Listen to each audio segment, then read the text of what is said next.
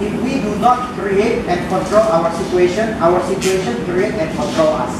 Jadi di dalam pikiran manusia itu ada internal dengan eksternal locus of control. Apakah Anda sebagai subjek, apakah Anda sebagai objek? Setuju nggak? Anda, Anda yang mengatur hidup Anda atau situasi yang mengatur hidup Anda? Tadi uh, Agent Tertin mengatakan ya, kalau ada pikiran yang seperti negatif itu harus di counter. Nah, counter itu dilakukan dengan internal locus control. Kita melihat dengan kacamata yang berbeda. Dengan kacamata berbeda itu, dengan kacamata berbeda yang positif itulah yang mestinya membuat dunia kita itu bertambah baik. Orang-orang yang positif, mereka lihat dunia ini baik. Kenapa? Karena mereka tuh pakai kacamata tuh seperti kayak punya lensa yang filternya itu kelihatannya baik. Kalau anda pakai kacamata filternya merah, anda lihat semuanya merah. Anda pakai filternya hijau, semua hijau. Begitu sama aja. Kalau orang positif juga sama. Kalau dia melihat dunia ini positif, dia akan melihat dunia ini positif. Demikian sebaliknya. Oleh sebab itu yang ketiga, internal locus control. Apakah anda mengontrol hidup ini atau hidup ini mengontrol anda? Itu kembali kepada anda. Apakah Anda mengontrol aktivitas Anda atau aktivitas Anda mengontrol Anda? Apakah perasaan Anda mengontrol Anda? Hari ini saya mesti ketemu klien atau Anda tidak tergantung dengan perasaan Anda. Anda bypass perasaan emotion Anda dan Anda bilang saya punya target, saya mesti kontrol sesuatu hal, saya suka atau tidak suka saya akan lakukan. Oke? Yang keempat, 10x mindset. Saya tadi ngomong waktu buat uh, apa uh, TikTok account saya bilang coba deh tantang 10x karena sebenarnya dengan adanya pemikiran 10x itu saya mempunyai visi yang lebih besar, saya mempunyai eagerness, saya punya cara pikir yang lebih besar. Saya ada, saya ada baca satu buku, buku ini membahas detail mengenai seorang yang namanya Michelangelo ya. Dan buku ini detail sekali dan dia cerita siapa Michelangelo. Michelangelo itu umur 17 tahun tuh waktu dia kerja di Florence pertama kali buat patung. Dia buat patung pertama namanya Hercules. Dia buat patung namanya Hercules. Itu patung bagus anda bisa lihat di internet itu patung, bagus. Tapi seorang Michelangelo umur 17 tahun ini tidak tidak puas dengan hasil patung Herculesnya dia dia bilang kelemahan pematung-pematung zamannya dia termasuk Leonardo da Vinci saingannya dia adalah mereka mampu mengimajinasikan tubuh manusia tetapi mereka tidak mampu melihat tubuh manusia itu dengan jelas. Oleh sebab itu Michelangelo 17 tahun ini berani sekali membayar kamar mayat di Florence yang waktu itu Anda tidak boleh membedah mayat apalagi Anda bukan dokter dia dengan uangnya dia dia tanda kutip lah menyogok penjaga kamar mayat untuk mayat-mayat yang namanya penjahat yang tidak dicari keluarganya. Dia curi, kemudian dia bedah badannya. Supaya dia tahu otot itu apa namanya, tricep itu apa namanya. Dan ini ini keberanian anak umur 17 tahun ini yang membuat dia lompat 10 kali lipat sehingga dia bisa buat patung yang namanya Pieta yang ada di uh, Basilika Santo Petrus yang Vatikan Pieta itu. Setelah Pieta dia merasa orang bilang ini bagus banget patungnya karena waktu itu dia buat sebuah patung yang unik. Ya saya bukan orang Katolik tapi dia ceritanya bahwa Bunda Maria waktu patung Pieta versinya Michelangelo dibuat muda seperti wanita muda. Karena kan kalau Bunda Maria ibunya Yesus Bunda Maria itu udah tua ya. Yesusnya waktu meninggal umur 33 ya Bunda Maria mungkin umur 50 tapi dia buat Bunda Maria jadi muda dan yang menjadi center dari Pieta kalau anda tahu saya baru kaget juga ternyata bukan bukan Yesusnya menjadi center patung itu. Ternyata Bunda Mariana yang menjadi center patung itu. Nah setelah dia berani bereksplorasi seperti itu dia dibayar lebih mahal lagi.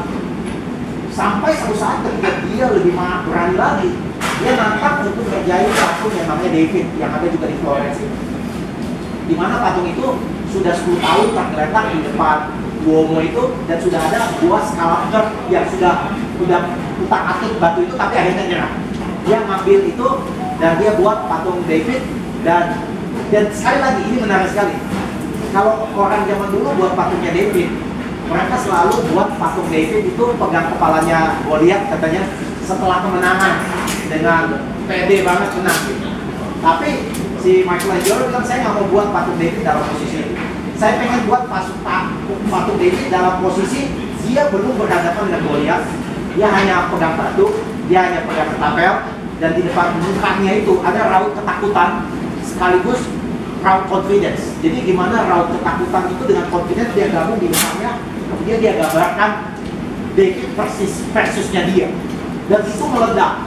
Dan gara-gara patung David yang luar biasa itu, patung itu membuat kota Florence menjadi maju karena menjadi ikon.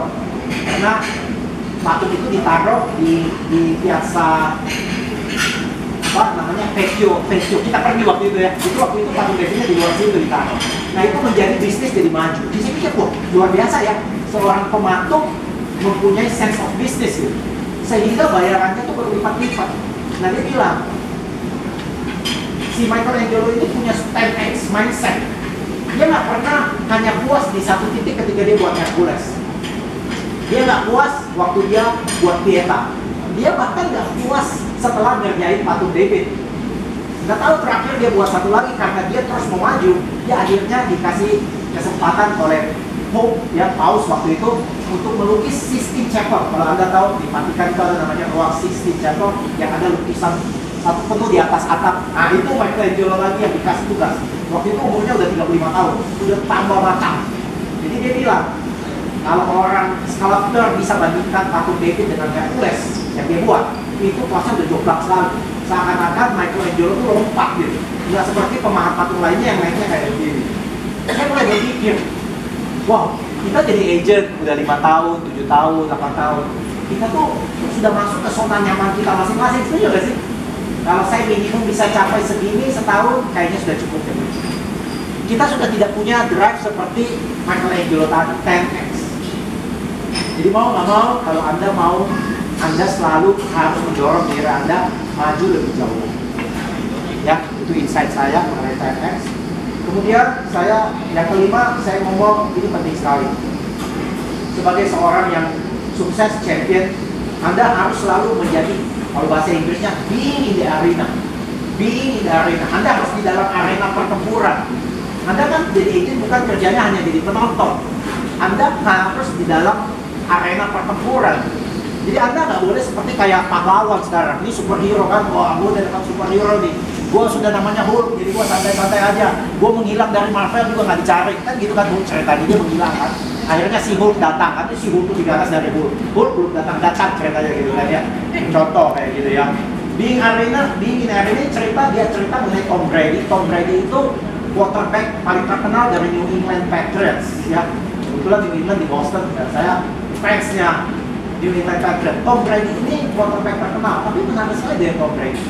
Dia di drafted waktu dia di draft jadi pemain dari college ke, ke NFL, dia adalah drafted season ke-6 dia punya pick kalau nggak salah nomor 599 jadi dia bukan orang hebat. Yang nomor satu pasti gajinya gede di transfernya. Dia hanya nomor 599 jadi orang tutup sebelah mata atau berani badannya kecil tidak berotot ya tidak ada cuttingnya sebagai uh, apa quarterback terbaik. Tapi anda tahu dia adalah legendaris quarterback karena dia bertahan paling lama di NFL sebagai quarterback. Dia sampai umur 36 pun dia masih jadi quarterback terhebat Nah kemudian ditanya sama wartawan, apa orang sekelas Tom Brady bagaimana bisa menerima nasihat dari orang lain? Anda bayangin ya, dia orang level atas ya. Bagaimana Tom Brady bisa dengar dari nasihat orang lain? Dia bilang begini, di dalam TV ada dua tipe komentator. Kalau Anda nonton olahraga ada dua tipe komentator. Satu, komentator yang ngerti olahraganya, atau satu komentator karena dia cantik, karena dia menarik jadi komentator. Sekarang kan banyak komentator bola cewek kan, goyang-goyang, seksi-seksi. Dia nggak pernah main bola, saya yakin kan. Tapi kayaknya penggemar bola lebih senang kalau dia komentator. Teman-teman, nanti di Indonesia di uh, uh, uh, babak kedua pasti akan menampilkan strategi-strategi penyerangan. Dia mulai dia mau ngomong gombal aja nggak ada yang dengar setuju? Maksudnya lu siapa tuh lu ngomong? Nah, kalau bilang hati-hati kalau anda dengar komentar orang lain mengenai diri anda. Ada orang yang tidak di dalam arena memberikan komentar kepada anda. Bayangin